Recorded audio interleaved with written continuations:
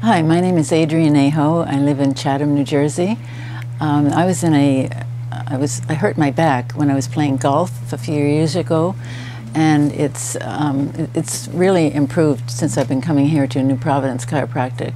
Uh, the people have been very patient and kind with me, and uh, the treatment seems to be working. So I'm doing maintenance now, and uh, I would recommend it to anyone. My name is Adrienne Aho from Chatham, New Jersey and I would recommend this to anyone.